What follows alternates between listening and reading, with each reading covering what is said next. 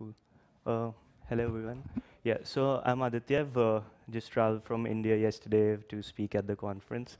Uh, it's been a great experience, uh, first time in San Francisco, and I just uh, wanted to share uh, what we have been working on in Gojek.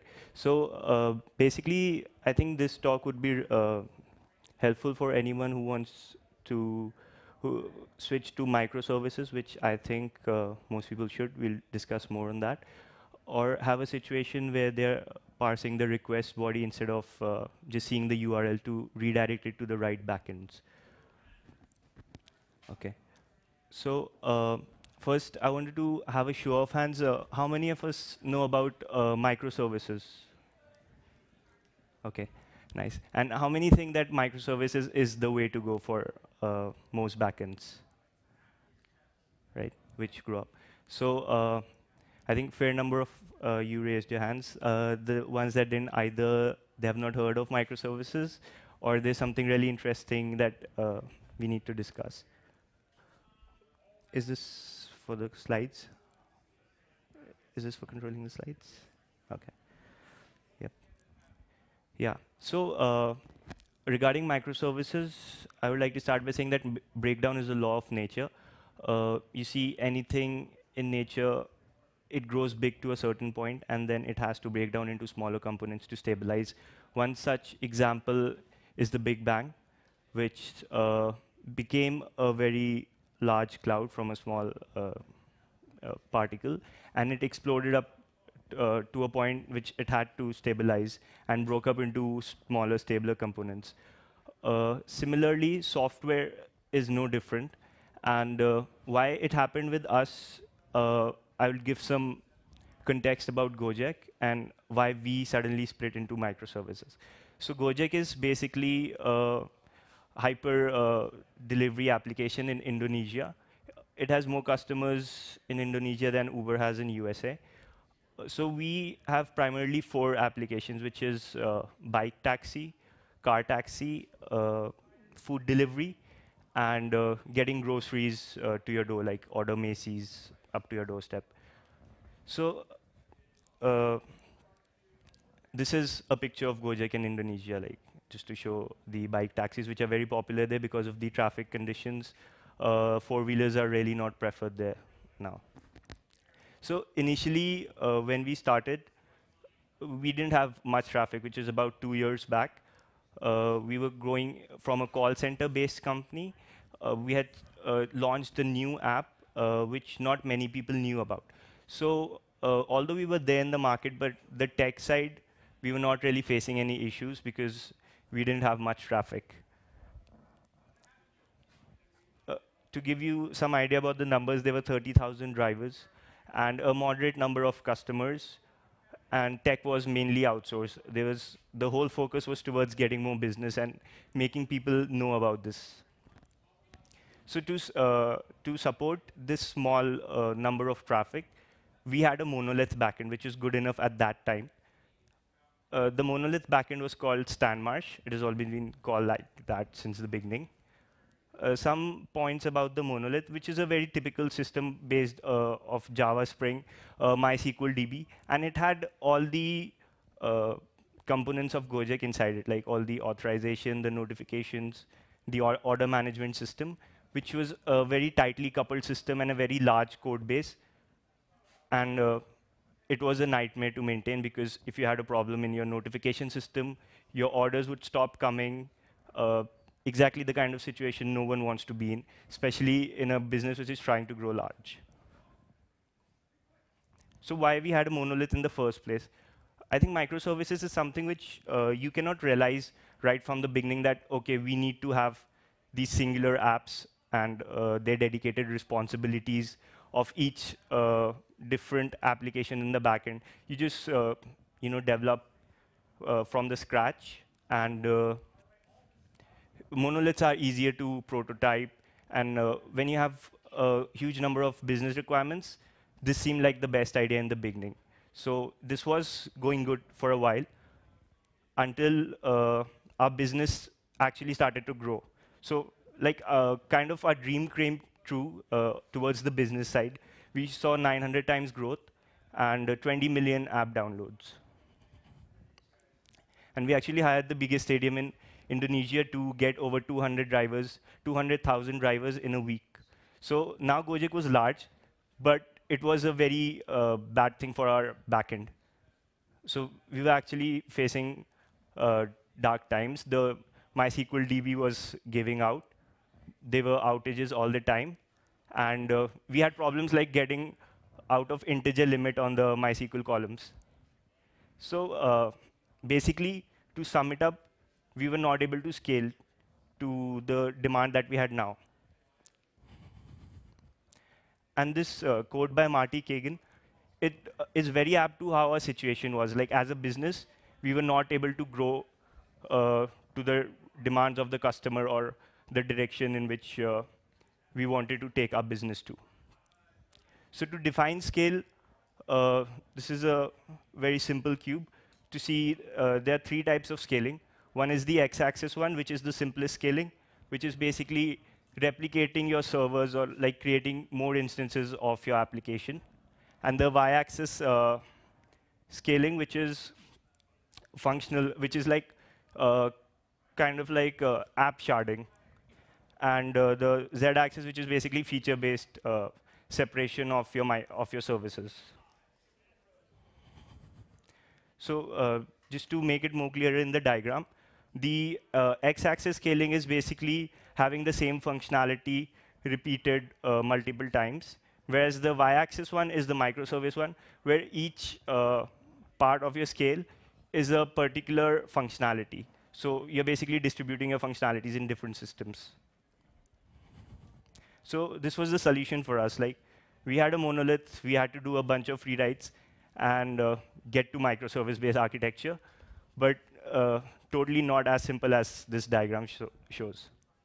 So why it was uh, complex, I'll get to that. But before that, I want to show an example of how uh, out-of-the-box thinking worked uh, for a canal system in Scotland. So basically, uh, this was the uh, canal system in Scotland, which had ga lock gates to, for a boat to go from the lower canal to the higher canal. And at this point of time, it used to take about 24 hours for a boat to reach the other canal.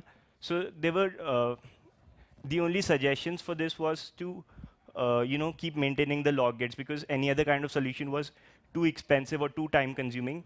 And uh, the stakeholders were not ready to go for that solution. But eventually the architects and the engineers, they pushed uh, for the solution that they thought was best, and they came up with this.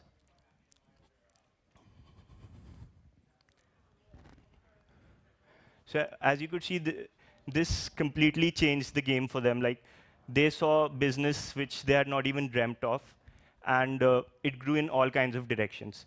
So this is the kind of situation I like analogous to how Gojek was. Basically, we were seeing this demand, but uh, not many people were ready to completely change our approach to a microservice-based approach from that monolith. And we didn't even have the tech bandwidth for that. So this was what we had. We had these four services, and uh, all of them had the same uh, URLs, and they used to go to the same monolith backend. So uh, are you guys aware of HA uh, proxy? Like, uh, so yeah. So basically, to uh, you know route those URLs to different backends, we have HA proxy. But if you want, so since the URLs were same, there was some way, other way we had to distinguish how to send those requests. So we had to actually parse the request bodies of those URLs. And HA proxy, uh, it's basically not a good idea to do that in HA proxy. You can do it using Lua scripting, but it makes your HA proxy slow, and you're basically coupling uh, things in HA proxy which you shouldn't. Like it should stay as a simple uh, routing, URL-based routing system. So we had to come up with something in between the HA proxy and our backend systems. So uh, we had to create a smart proxy, which would scan the, the JSON request body and then decide which backend to send the request to. So we started uh, this for the transport backend. So it has to, uh, the smart proxy had to scan the request body, it had to handle a very high load, like uh, with the new business, and it had to be fast and concurrent so that the app, the app users didn't get affected with uh, this component in place. So to scan the request body, uh, we basically uh, were using JSON to build uh, this, HA, uh, this smart proxy. So there's something called JSON decoder, which can actually convert your JSON to a Go struct. And we need a Go struct to uh, read the elements in that JSON and to apply some algorithm on that so that we can uh, direct it to the proper backend. But the problem with decoding uh, JSON request is that once you decode it, the file pointer moves to the end of the JSON body, which means that you cannot redirect that uh, request to another backend once you have decoded it. So uh, I'll uh, elaborate more on how we dealt with that uh, later. But another thing that Golang made easy was uh, the part where we had to have something which was fast and which was concurrent. So Golang gave us uh, the channel uh, the channel option and the go routine options, which basically means that you can spawn a new thread every time a new request came in. So uh, new requests didn't have to wait on previous requests getting served in our HA proxy. And as you can see, there's something called channel, which is used to communicate when a routine has completed. And routine uh, returns true or false uh, based on if it's successfully completed or not. So just to show some code, this looks like your regular regex code, uh, which you would have in your HA proxy. And uh, it tells you the, uh, the HTTP method of that URL. Uh, it could be post or get. And then it shows you the service type handler, which is basically the uh, where the routing logic is stored. So we would send this URL to the service type handler. And the service type handler basically has just three parts. Uh, you don't have to know Golang to know what these part means. The, uh, uh, you can see the uh, second line, which is clone request. So as I said before, we needed to clone the request because the file pointer used to move to an end. And the third line is decoding that request to a Go struct, which we need to convert the JSON body to a Golang structure. And the third was a proxy handler. So uh, as you saw, uh, the struct that we converted to, it just uh, we have some logic to see whether it's a car type or a bike type, and uh, subsequently it forwarded to the car proxy or the bike proxy.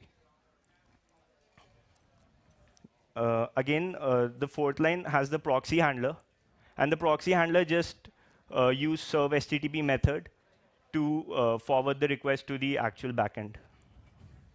And the backends were stored in the form of your configuration. And using the HTTP util packages, we were able to uh, actually point these requests to the appropriate backends. So here we had a smart proxy ready in the architecture. Now the problem was to move the users from the old backend to the new backend without affecting 20 million users. So we started alpha testing with the internal users of Gojek. Uh, basically, this meant like we tried this approach on the employees of Gojek, and to do that, we just had to make make a small modification in the smart proxy code, which was to check the customer ID and reroute it to the right backend. And then we started moving in phases, which was like uh, we started, uh, we associated a random number with each request that came in, and we saw if the request's random number was less than the given threshold or greater. If it was greater, we used to reject that so that we can maintain something like 5% of the traffic on the new backend. So we went in phases, like we went 10%, 30%, 60%. And at 60%, we uh, found out that the whole system crashed. And like we had to go back and start using the monolith again.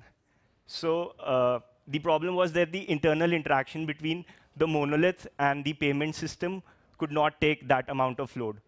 And you cannot find those kind of things with load testing because load testing environments are usually isolated to the new backend. So this was one thing which kind of helped us to uh, find the fault without affecting the customers. We could, because we could still switch back to the old monolith. So we fixed these internal interactions and uh, switched on back to 60%. And this time, uh, there were no failures. So we went ahead and got full 100% of the traffic on the new backend.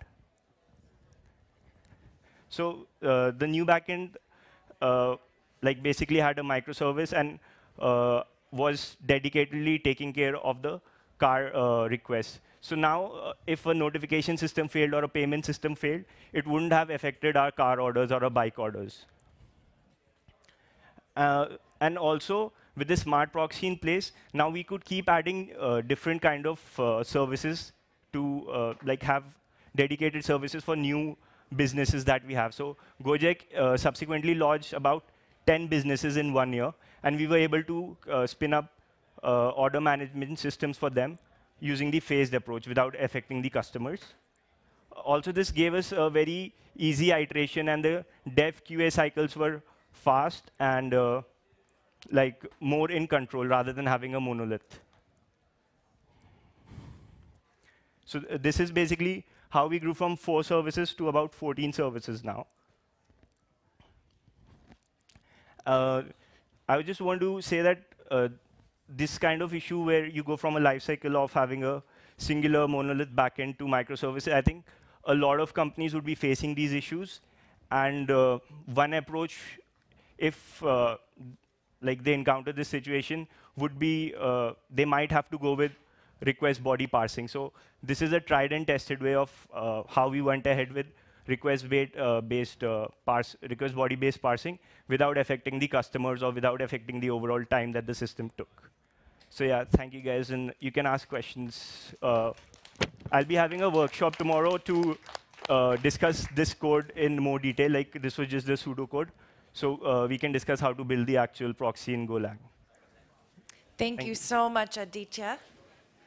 Excellent. And thank you for traveling all the way from India to be here to um, talk to the audience. So that's amazing, and hopefully we'll see you again. And thank you again for coming here today. We have an after event going on at 6 o'clock p.m., and that's